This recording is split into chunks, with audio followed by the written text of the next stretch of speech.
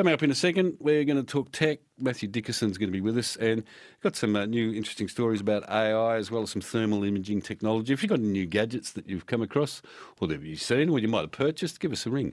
1300 800 If you just want to talk about the virtues of AI or otherwise, you can give us a ring on that as well. 1300 800 All right, it's time to uh, talk tech. Mathew Dickerson is a small business consultant. He's the presenter of the Tech Talk podcast.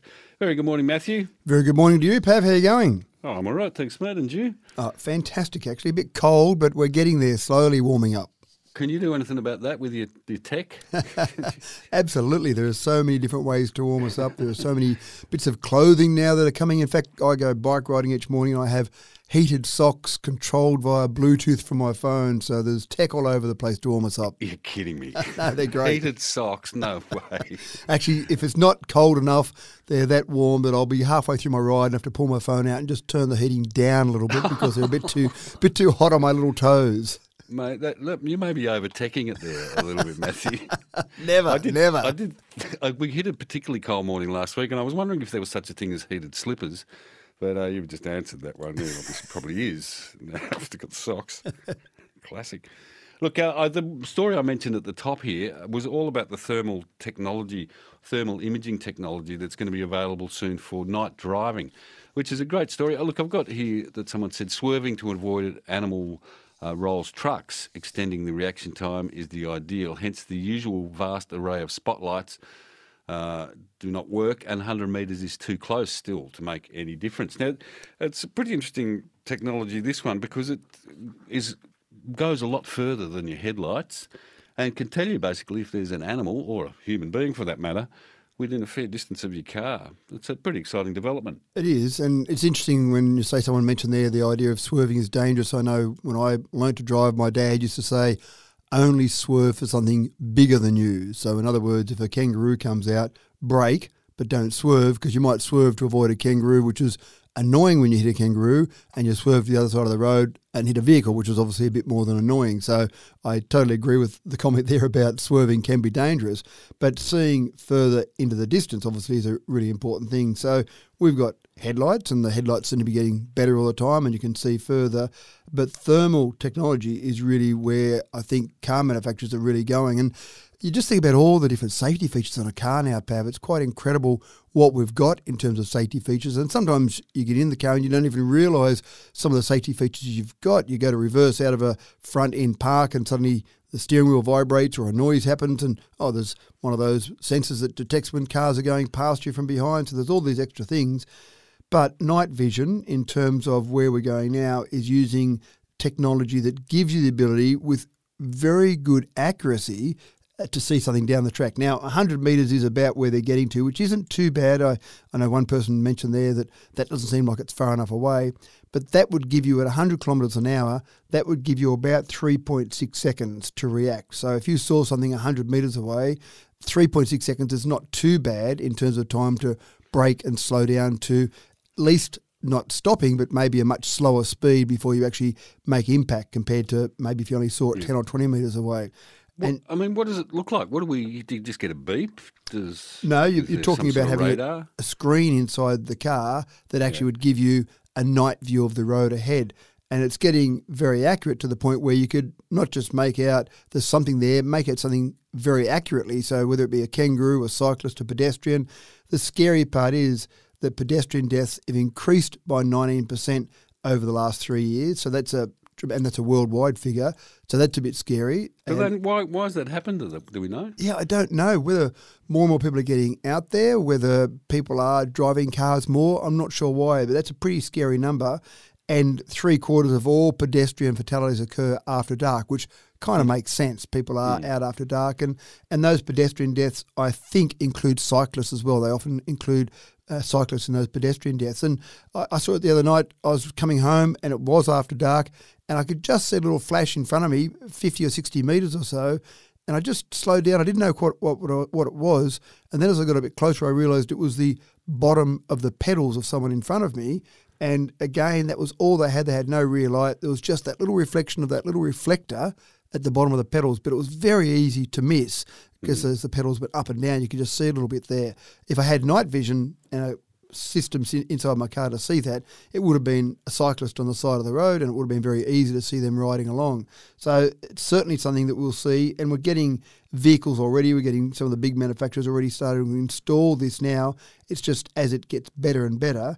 And again, we'll see things on luxury cars, on high end vehicles, and it doesn't seem to take long now for those luxury features that you pay extra money for to then get to the stage where they're on all vehicles. So hopefully yep. this will start to come fairly quickly. And keep in mind, it'll go through fog and smoke as well. So it's not just about seeing it in nice clear view because fog can be a bit scary and people think it's okay, I'll drive in the fog, I can go reasonably quickly. It's okay if there's nothing that happens out of the ordinary. Where fog gets a bit scary is if anything happens, someone on in the front of you, a pedestrian, someone going across the road, a car that's broken down in front of you. That all would be seen by night vision. Hmm. We had a call just before from a truck driver driving through Colac who was saying there's fairly dense, thick fog in that part of the world. So imagine would have been handy there. Look, uh, Roger's called. If you want to join the program, 1300 800 222, talking about new technology. If there's any uh, that you've got that you've been playing with or that you've seen or you've read about, love to hear it from you. 1300 800 222. Roger's called about this particular issue. G'day, Rog. G'day, mate. Hey. Uh, there's a company here in WA that run in the northwest uh, overnights, and they've been running thermal imaging cameras for at least six years that I know about hmm. because we, we get a lot of cattle in the northwest and it just saves so much in on insurance and truck repairs and things like that. So it's been around for a while. I'm sure it has. So have you, are you driving a truck with thermal imaging, Roger? Uh, I don't. I I was looking into it because I was doing a bit in the northwest, but I just changed my driving hours because I think it was about eight grand to set the truck up and uh, and I wasn't going to be doing it that long, so I just changed my yeah. driving hours and my habits. But these guys are running Northwest. I think they run about four or five trucks and uh, Karratha and Hedland every night. So they've been running them for years. It makes economic sense to them because yeah, it's very costly to repair a truck. You know, hit a cow. Well, it, it can be up if you hit a cow, it can be up to hundred grand depending on the truck. So yeah. And how, how dangerous, I mean, because you've driven that road a bit, how dangerous is it at night? Um, do, you, you, find yourself all of a sudden in situations where it would have been handy having the, the thermal imaging? Uh, yeah, yeah, but I, have been lucky that it, occasionally I'll, I'll, get a cow walk across the road, but sort of uh, I, I was leaving early in the morning and cattle would tend to sleep, so I had a pretty good run, but um, late afternoon, early evenings, yeah. they seem to be on the move. So you've really got to be careful. Look, kangaroos around sunset. I mean, you know, so the sun's coming down low in the sky. The visibility is not necessarily that good. So, I mean, I imagine this sort of technology would be pretty handy for that too, that time of day. Yeah, yeah, absolutely. I don't go into Kimberley and to Pilbara that much. So, um, where I do travel, it's, it's mainly just kangaroos. And yeah. if, if they run in the truck, they run in the truck. But uh, but uh, as um, as your guest was saying, that you don't swerve for them, sort of thing, and um, but they make a bit of a mess. Yeah, I'm sure they do. yes. uh, they, they, it's the cattle that you're really worried about because they're just so big, and and a guy died in the Kimberley just a couple of weeks ago from hit, hitting a cow with his four-wheel drive. So it's yeah, how much damage they you, can cause. Hit a big animal like that at high speed, uh, you're probably going to come off the road. So you're right, Roger. Incredibly dangerous for, well, obviously for the cows, but for the drivers as well, and expensive. So uh, thanks for your call, mate. Nice to hear from him. Cheers, bye. Appreciate it, Tar. So look, I've got another one here. Trucky Robbo says we have the FLIR infrared cameras on our road trains. They're fantastic. Horses, cattle, camels, and roos. Too uh, so easy to see. There you go. And so, Pav, what's interesting there, you mentioned headlights. One of the great things about these is they're not affected by headlights. You'll still see that thermal image on the headlight, even though, as you see, a headlight come towards you, sometimes that can limit your vision. Sometimes I'll find myself driving and I'll just slow down a bit as a car comes because you get a fairly limited view. And if there's nothing that comes out in front of you on your side of the road, everything's okay. But it's if something changes. So it's interesting. We have seen this technology around since about 2005 in a limited form. It actually goes back to the 1991 Gulf War. That was originally developed. This sort of technology, this thermal sensing technology, goes back to there. But as with so many things in wartime, things were developed quickly for wartime, And it was only after that technology was declassified that we started to see it used in things like firefighting and things like vehicles. I think the point here is that you do get truck drivers, you do get vehicles with it now, but it'll start to get to the stage where it becomes common fare, but it's also getting much better, getting much more accurate in what it can see. And we heard $8,000, which is quite pricey, but I imagine that as we get further along, the price will come down as unit costs do when they get more popular, these things. Look, I got, Tony wanted to say, does the thermal imaging blind oncoming vehicles, which it doesn't, it sounds like, if you're saying it's separate to the headlight system? It is indeed. It's a separate system altogether. It, it doesn't blind anything. What it's doing is actually sensing the heat. So it's looking at the heat signatures, but because it's getting so much more accurate, that's where it can give you more accurate images. And you've probably seen imaging that's thermal imaging. So people have probably seen things on TV, on on movies, whatever, that shows some various different colours of things that are showing heat signatures. But this is doing the same thing except much more accurately. So you're not just getting blobs and you don't really know what it is, you're getting much more accurate shapes so that you can make out that it's a cyclist or a kangaroo or a cow, whatever it might be. It's getting much more accurate. And as technology progresses, you see that where you get more accuracy out of it. I'm thinking of the uh, movie Predator. Uh, where the alien has a bit of thermal imaging technology, and, and, Arnold Schwarzenegger covers himself in mud. Yeah, that, that so. type of thing where you're trying to change your heat signature. Yep, that's the way. Uh, Tony actually wanted to say, does it help? Can you see e-scooters in the dark? Because they're yes. impossible to see at the moment. uh, yes, it does. The not so much the e-scooter, but the human on the e-scooter. The e-scooter itself, if it was left on the side of the road, for example, probably would be a pretty similar temperature to the things around it, but it would probably still make out something slightly different. But definitely a human on the e scooter would make a difference.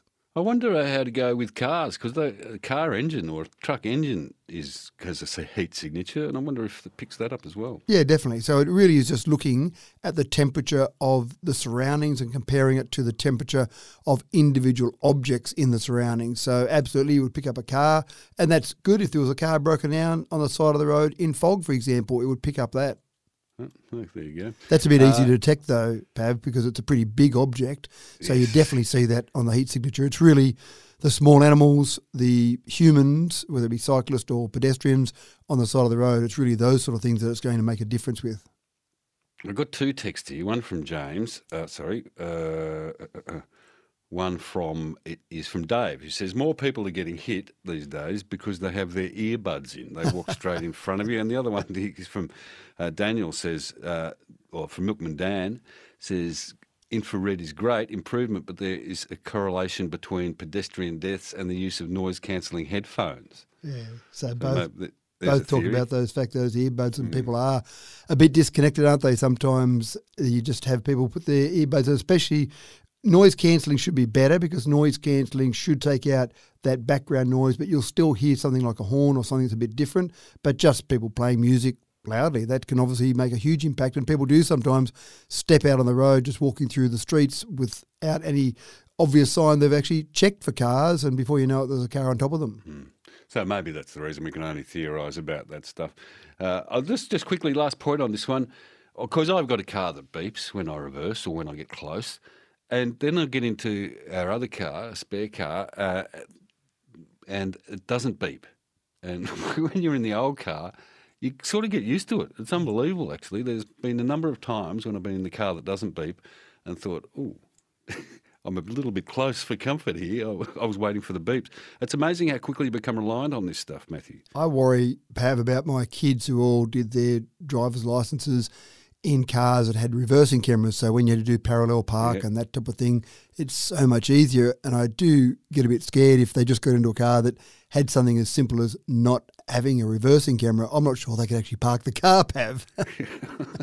might be, well, it's all going to be automated soon anyway, Mathew, isn't it? Well, there are some cars that do that, but that's the problem. You get back in an older car, yeah. and how would you manage to automatically park the car? And what, I've got to park this manually? I've got no reversing camera? How could I possibly drive this car? Even driving a manual car may be a thing of the past that was in the future, Mathew. I think so. Yeah. Uh, look, 1300 800 222, we're talking all about uh, new technologies. If you've got any that you've come across, read about, or that you purchased, love to hear from you. 1300 800 222 is the number to call. 1300 800 222, the text number 0437 774 774. This month, find a brand new collection of audiobooks on the ABC Listen app, including international bestseller The Book Thief by Markus Zusak. I do, however, try to enjoy every colour I see. A billion or so flavours. And the book that inspired the movie and TV series Ladies in Black. The night of the black night dress and Frank's disappearance might in fact be connected. Find these audiobooks and many more for free on the ABC Listen app. We're talking to Mathew Dickerson this morning, small business consultant and presenter of Tech Talk, the podcast, all about new technologies. We've been specifically talking about the thermal imaging technology that's going to be available for night driving soon. That's going to improve our, our safety and improve our quality of travel. I'm still getting a lot of texts about this, Mathew, so I'll read a couple of these to you. Um, someone wanted to say, this is Shane in Mansfield, said thermal imaging is good, a good idea, but it'll just be another screen to distract the driver. Modern vehicles have far too many gadgets in them and distract us from the most important tasks of looking at the road ahead. That's a sort of good point, really. Sometimes, yeah, there's, there's a fair bit going on with this technology, and maybe it distracts us from the real job of driving sometimes. And I think the point you made before about things beep and there's noises, and sometimes you get to the stage with so many different things in your car making noises at you that you start to tune out to them. So the important noises that you might want to hear or things you might want to look at, sometimes they just become background noise. So you might have your car beep when you get close to the speed limit, or it beeps when it sees something, or beeps when you're reversing, and suddenly it's just beeping always, and you just ignore them all. Hmm. I got a text from a different Alex, this one who says, uh, Would the infrared only be suitable in the country without too much around, i.e., too much info in the city? Yeah, how would the infrared thing go when you're driving down a, a city street that's got people on either side of the road? There'd be thermal imaging uh, coming up everywhere, I would have thought. It'd be hard to determine which what's what. Well, it would show you the same as a camera would show you. It would show you those along the side of the road any noise or any beep or any alert would only come into or would only be activated when it would come into your view. So if you're coming into the forward direction on the roadway, for example, but the advantage is you can see it. So the same as you're driving down a city street in daytime, you can see various people on the side of the road, on the footpaths, looking at cyclists maybe in front of you, e-scooters as someone mentioned, and then if you were doing that at night time, it gives you a much clearer view of all of that. But I suppose it's more relevant on highway driving because that's when you do tend to find some of those animals or potentially cyclists, yeah. pedestrians coming out at you. But it would it would give you that clearer view wherever you were, city or country. I suppose the other thing with the country driving is you're driving at high speeds. So Correct. Uh, the delay times and reaction times are all factored into this. Look, uh, also, uh, this is an interesting one. Apparently, there's a trial with a helmet being used that uses and interacts with eyes and that has setting for interactions with craft. Do you know anything about that one? Yeah, I have seen ones where they actually can use either sensors on your dash and look where your eyes are looking to see what you're looking at, or I've seen ones where it is a helmet as well. Obviously, it's going to be hard to get people to get in the car and put a helmet on to go driving, but there there are some cameras that can be set up or that have been tested on a dash, just look where your eyes are looking to see if you might be missing something. So you're looking out to the left when something comes from the right. That would be a slightly different alert to if you're looking to the right when something comes to the right. So looking where your eyes are looking, plus it gives you that advantage that it can actually detect if your eyes are getting a bit droopy. So if you're getting a bit yep. sleepy, that can be detected as well. And there's some also in. Uh, some uh, engines or some devices within the car itself can actually pre- predict that stuff, can't it? They can tell if you're feeling a bit drowsy off the.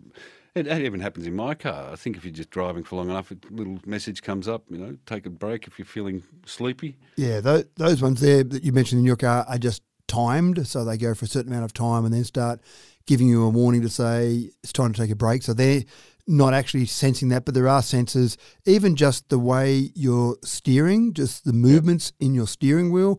There's work being done on detecting when someone's drowsy, how they might change their steering, just slightly slower in the way they might steer. But again, AI is used behind the scenes with a lot of this, where they'll just feed a huge amount of data into AI and then it can start to make predictions based on what you're doing at the moment. Uh, Judy's got a good solution for us. Good morning, Judy. Morning. Um, look, I, have done that. The, car, the, car, the kangaroos you come by are just the enormous ones. Yeah. And the thing is, I try to find a motel or a hotel. I mean, some hotels are not too good, but I try to, to stay there overnight. And start off early, not too early in the morning, because they're still around when they really go at, at, at dusk. As, uh, again, the, the kangaroos come out a lot, you know. Yeah, you're right. I mean, it, uh, it's a real issue for driving at dusk and dawn. Um, so if this yeah. improves that, that's good. But yeah, Judy's solution is just to get into a motel. I like your solution, Jude. Not too many kangaroos in motel rooms no. that I've seen lately. One of the real challenges, though, Pav, is when you talk to companies that are developing autonomous driving, which gets a bit scary for people when there's no one sitting in the driver's seat. When you talk about those companies, one of the real challenges is a kangaroo.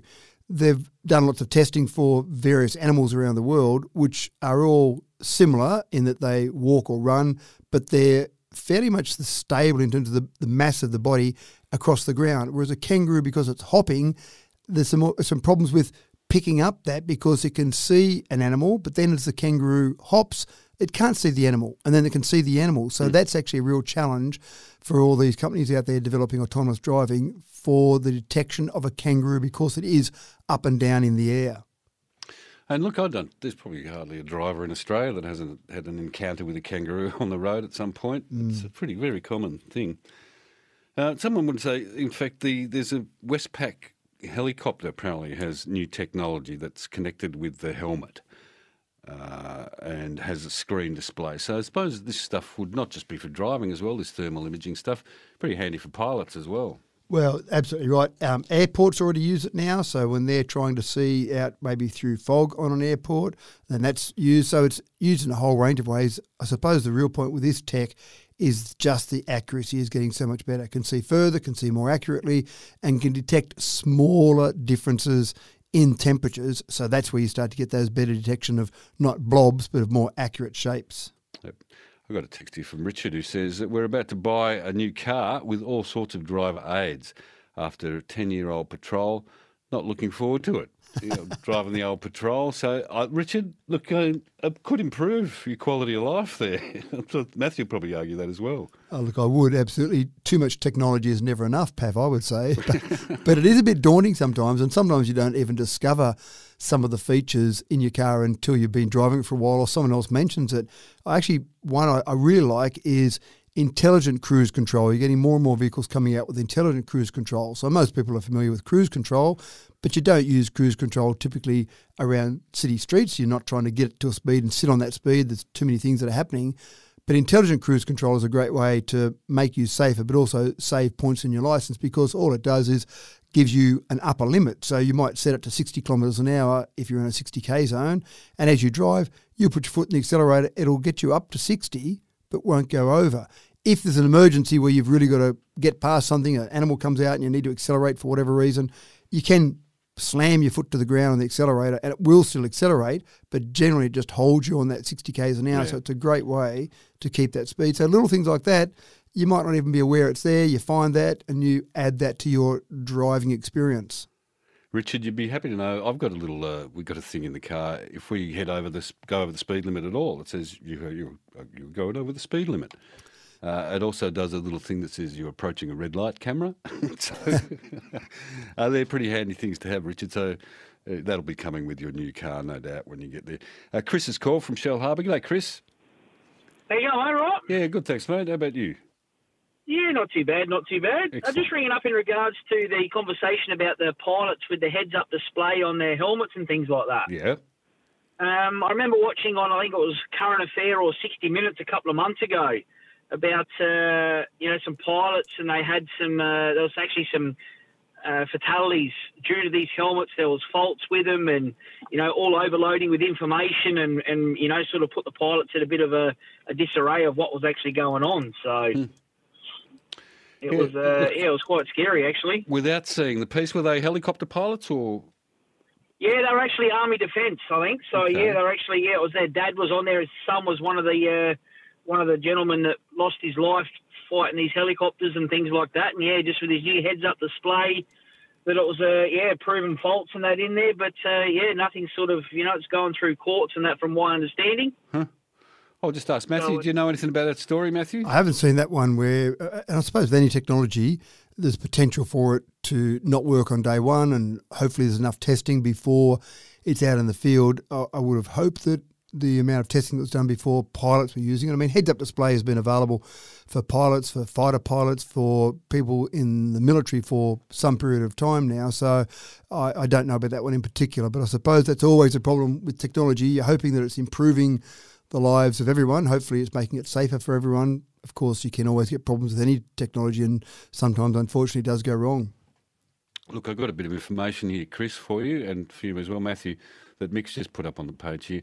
Uh, Australia Defence has confirmed pilots on the new or the now retired Taipan helicopter fleet were using a helmet mounted display system despite internal warnings the equipment carried an increased risk when used in flying conditions with poor visibility.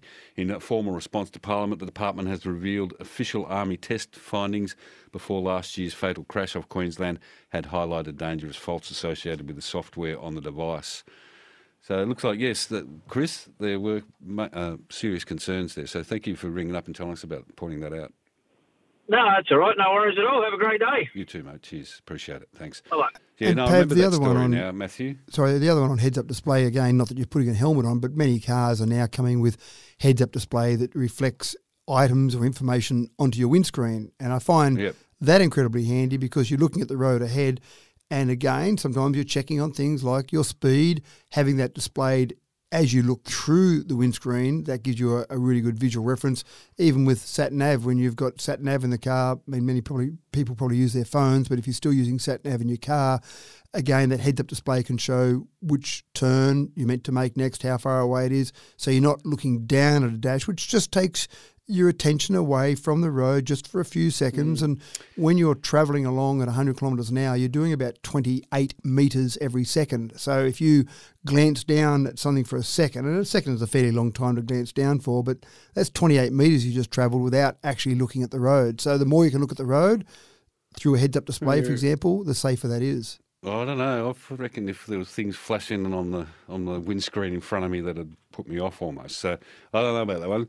Um, I have seen it. Obviously, we'll be interested to see when they roll that that out if uh, we get any problems with it. Look, I've got a text here from Annie who says we're not driving F thirty five Super Hornets.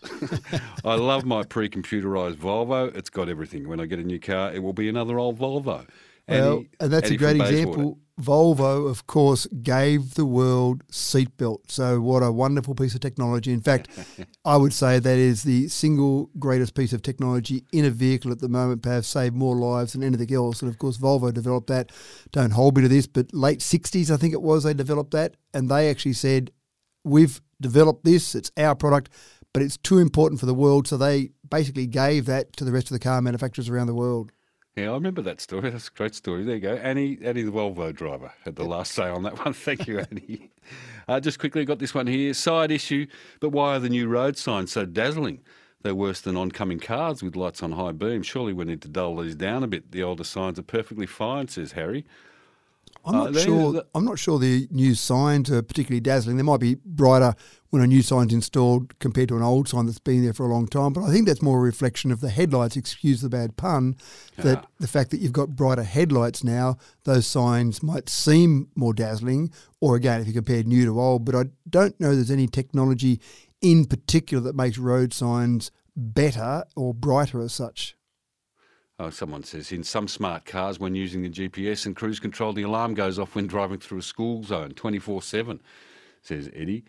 Um, uh, mine's usually pretty accurate with that stuff. uh, And I'm often amazed. How do they factor in all this stuff? How do they know the, the, the school hours or school holiday dates? And all of this stuff must be put into some central computer that feeds it back out into all the vehicles on the road. It's pretty amazing technology. It is, and you do still get the frustration during holidays, which obviously New South Wales is in school holidays at the moment. You still get that frustration where you'll drive through a school zone in holidays and there's no school there and it'll still tell you that you should be doing 40 k's an hour. So you've got that problem there. And some cars don't even know that it's night time. Some cars do, but then the school holiday one's a bit trickier. Bill's called. G'day, Bill. G'day, mate. How you going? You've got a truck with all this sort of these uh, high fancy, high tech gadgets in it, have you? Yeah, mate. Yeah, I'm in a quad, uh, an ultra quad. I, I do FIFO work over in WA at Port Hedland, Hmm. and um, yeah, we've got all the stuff. We've got the thermal uh, camera, and, and that's fantastic. You can pick up, you know, even a snake on the road. You can see. Really? Yeah. Right. Um, and, th- and then plus I got the infrared that watches my eyes. But one thing, um, like you've been talking about that you can see in fog, well, not with this one. Okay. You, can't see nothing in fog. So what do you see, Bill? Like if there was a snake on the road, what what do you actually see? You've got a little screen that. Yeah, you've got a little screen. It's all six inches or so um, across. How do you know Um, that it's not a kangaroo and it's a snake? Oh, you can see kangaroos. You can you can make out like because we've got a lot of cows over here. All right. So you can see it makes it like because what it is, it comes up really white, and the and the hotter the, uh, the hotter the animal, the brighter it comes up. Okay. So you, you've got the full outline. You can, yeah. Hey, you aren't, aren't snakes cold blooded? Um, yeah, but you got. Well, it doesn't get cold much over here. I wonder, anyway, that's very interesting, Bill. So, anyway, you reckon it's improved your quality of work, your, your driving, and made things safer for you? Oh yeah, yeah. Like, because I worked for a company before that didn't have a camera, and I and, and I was only there eighteen months, and I hit about three cows. Huh. I've been here with this company now uh, over three years and haven't hit one. There you go. There's, uh, there's proof in the pudding right there, Mathew. Thank you, Bill, for telling us about that. Very interesting. Uh, it looks like it's, uh, it's work for Bill, Mathew. Yeah, that's right. And you did mention fog there, but certainly that's where the new ones are getting better again, where they can see images in fog. And it's a good point you make with snakes. Snakes being cold blooded, basically, they can't regulate their body temperature like a human can, but they'll typically be a similar temperature to the environment. So they'll try and get out into the environment. In summer, for example, they'll go and have a nice little bake out in the sun and, and get to that same temperature. So typically you'll find they'll be similar to their environment, but not exactly the same. And that's where these cameras are getting so much better. Now, we've got to wind it up, Mathew, because uh, news is coming up. Great talking to you again. We'll catch you again in a month's time, okay? Right, thanks, Pav. Mathew, much appreciated.